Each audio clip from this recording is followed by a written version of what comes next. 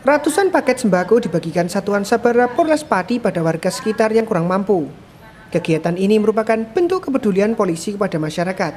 Selain itu, kepedulian sosial polisi pada warga yang membutuhkan saat puasa dan menjelang lebaran.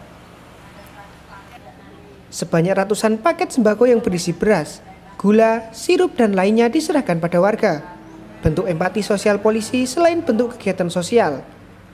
Selama Ramadan, diharapkan dengan pembagian sembako ini, nantinya bisa dimanfaatkan oleh warga saat merayakan lebaran nanti. Semangat berbagi yang dilakukan oleh polisi ini tentu sangat diapresiasi oleh warga. Salah satu warga, Ita yang ikut menerima pembagian sembako, menyatakan sangat berterima kasih sudah dibantu oleh polisi.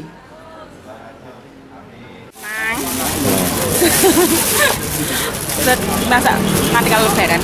Ya terima kasih buat Kapolsek sudah bagi-bagiin Kapolres. Sementara itu, Kapolres Pati, AKBP Urinartanti Istiwidayati menyatakan bahwa polisi selain memberikan rasa aman dan nyaman pada masyarakat, juga peduli sesama. Salah satunya dengan membagikan sembako gratis untuk warga sekitar yang kurang mampu. Uh, gerakan Polres Pati Peduli yang khususnya penjurinya adalah Sat Sabara.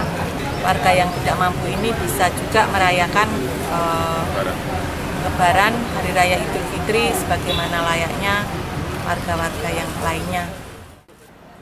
Kapolres berharap kepedulian polisi dengan sesama yang membutuhkan akan terus dilakukan. Tidak hanya membagikan sembako gratis saja, namun juga bentuk peduli sosial lainnya akan dilakukan oleh polisi ke depan. Heri Purwaka, Cahaya TV.